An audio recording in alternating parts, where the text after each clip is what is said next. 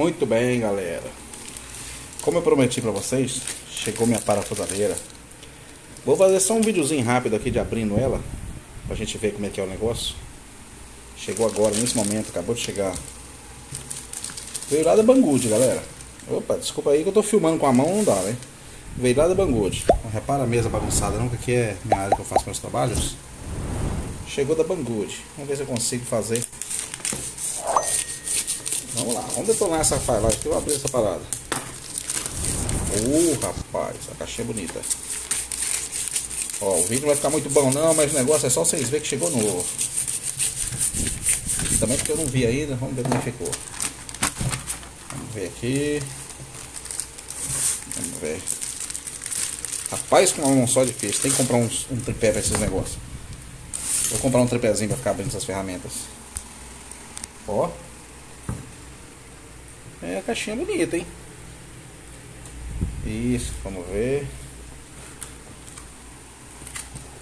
Vamos ver. Legal, tá com selinho aqui, ó.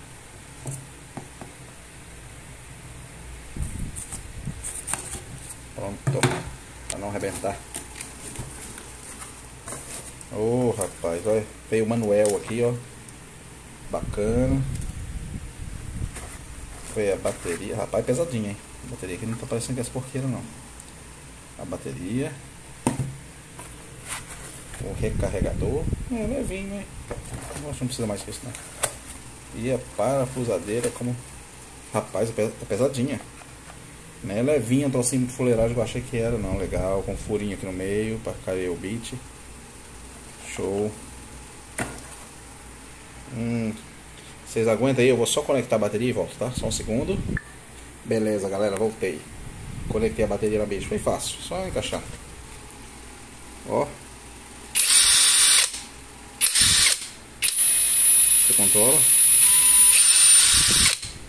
Aqui, ó, inverter, aqui inverte. Beleza, funcionamento perfeito. Do outro lado aqui você aperta para apertar.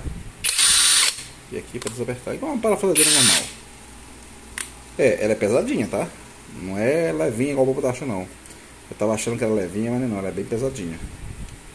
Então com certeza vai dar legal para apertar as paradas. Aí eu vou fazer o seguinte, galera. Eu vou comprar umas, uns bits. É isso aqui que eu tava esperando para fazer as manutençãozinha na moto. Aí o que, que eu vou fazer agora? Eu vou comprar os bits, né? O 17 e o 19, é 12, 14, 17 e 19 que a gente usa na X-Max. Aí com essa parafusadeira aqui agora e a outra pequena que eu tenho, já dá para poder fazer as manutenções da X-Max, para desmontar o CVT. Eu comprei isso aqui só para desmontar o CVT. Porque o CVT tem que ficar calçando com chave e eu não quero fazer isso não. Com isso aqui é mais negócio. Pelo que eu andei vendo, isso aqui vai resolver 100% o problema.